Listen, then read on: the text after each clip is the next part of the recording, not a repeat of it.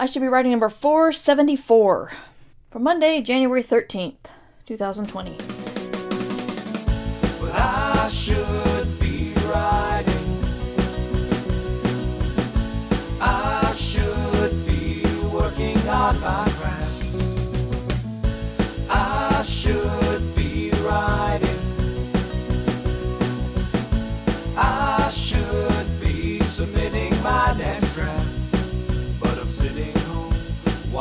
Hi there, welcome to I Should Be Writing, the podcast for wannabe fiction writers. I'm your host, Mur Lafferty. And I'm reaching an age where I'm trying to figure out how like what what among my prop my my idiosyncrasies I can change. Like what I just have to accept as a part of me and what's a bad habit that can be changed. And it's hard to identify these things. But one of the things I have is um, I have trouble switching gears in the middle of a day. I need a brain reset.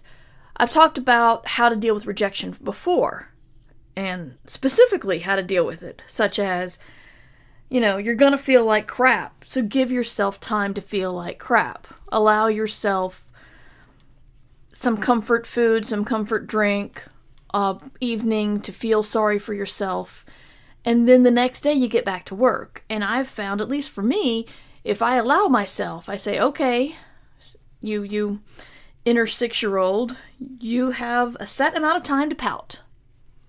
And when the timer goes off, you're done.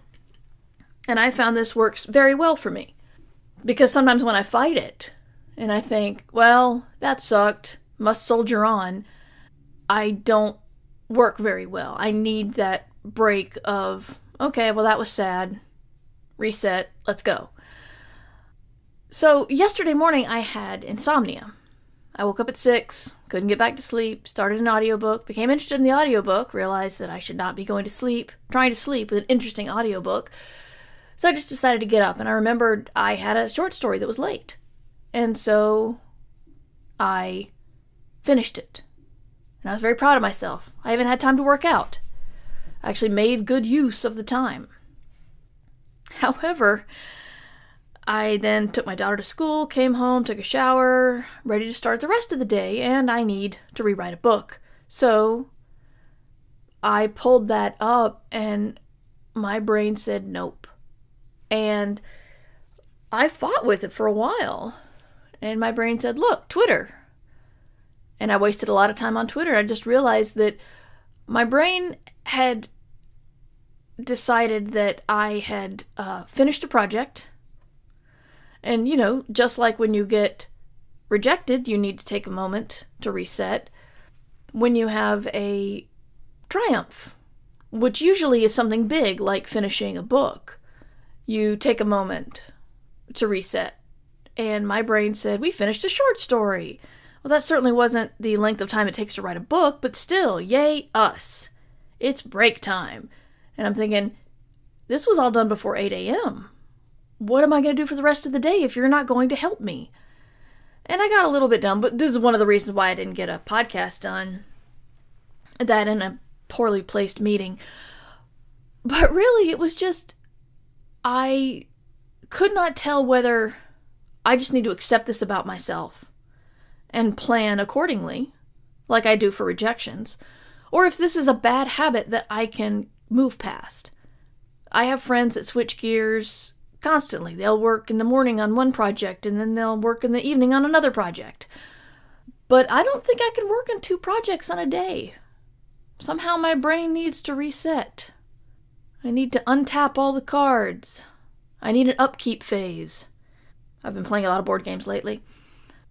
And I realize if I do accept this about myself, then, like with rejections, I should be able to plan accordingly and continue just to make room for it. Trying not to finish a project before 8 a.m. if I want to get anything else done that day. Or maybe I'm just allowing my, my subconscious to do stupid stuff and I'm not fighting hard enough. I don't know. It's weird.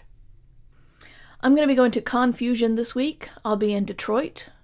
And if you're there, please come say hi. I am going to be doing some uh, interviews. I've got, I will take my recorder. I don't know if my computer is going to talk to the Wi Fi or not. I don't know if I'll be able to record, but I'll certainly try. Um, if I can get my head on straight and think up four episodes, I will try to do a batch tomorrow and release them for the rest of the week, but I don't know. I'll be arriving in Detroit Thursday afternoon. Really looking forward to this one. It's a really fun small con that a lot of pros go to.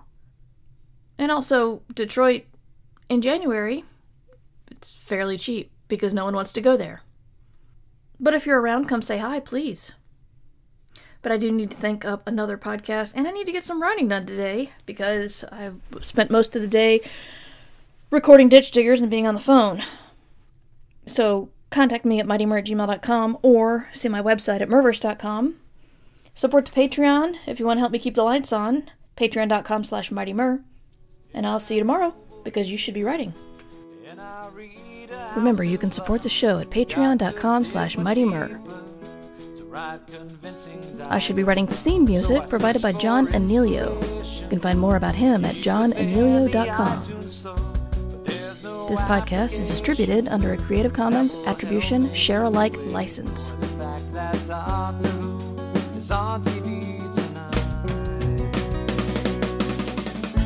I should